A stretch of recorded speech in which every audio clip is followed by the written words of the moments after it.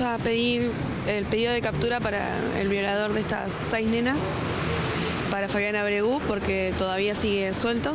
Está caminando por las calles cuando nuestras hijas no quieren ir a la escuela porque tienen miedo. ¿En qué circunstancias fueron estas violaciones?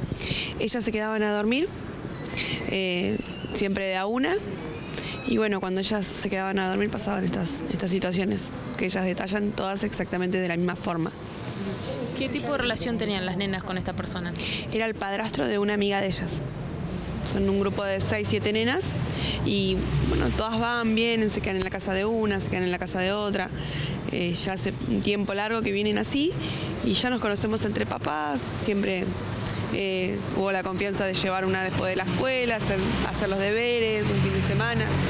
Y bueno, cuando se quedaban en la casa de esta nena, pasaba estas cosas. ¿Por qué está libre este hombre?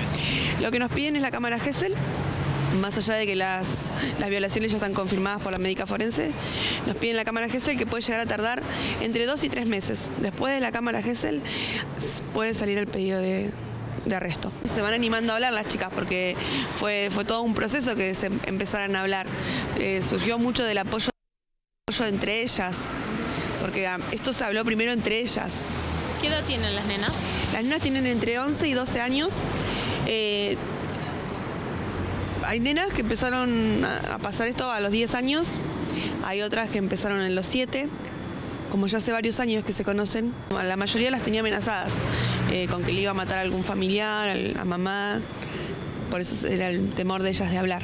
Y fue una nena la que, eh, digamos, comenzó con, con- contando algo y eso generó el efecto de, de- de- de que el resto también empiece a hablar. Claro, fue, fue mi hija la, la primera en hablar.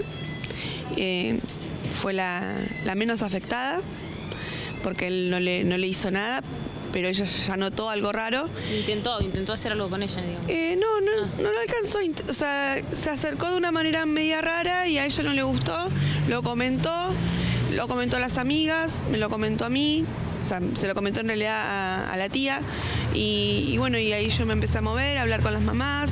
Ella empezó a hablar con sus amigas, sus amigas empezaron a hablar. El problema era que sus amigas no se animaban a hablar con sus mamás. Así que fue un movimiento de, mamás, de, de empezar a comunicarnos, a tratar de, hablar con nuestras hijas, a ver qué, qué era lo que nos decían. La más afectada de toda la situación es su propia hijastra, que hace siete años que venía cometiendo esto con ella. Es la más afectada y la que está peor, porque las chicas dentro de todo, a- al ser tan chicas, eh, por ahí no toman eh, conciencia de la gravedad del asunto. Eh, ellas están como si nada, se juntan entre ellas y siguen jugando, riéndose. Cuando se cometían estos hechos, ¿no quedaba otra persona en la casa más que él y las nenas?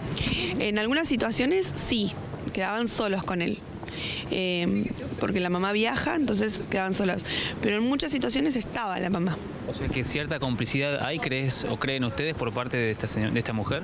Yo particularmente sí creo que hay complicidad de parte de ella. Eh, o sea, hay ciertas circunstancias que, se, que dan a pensar que sí.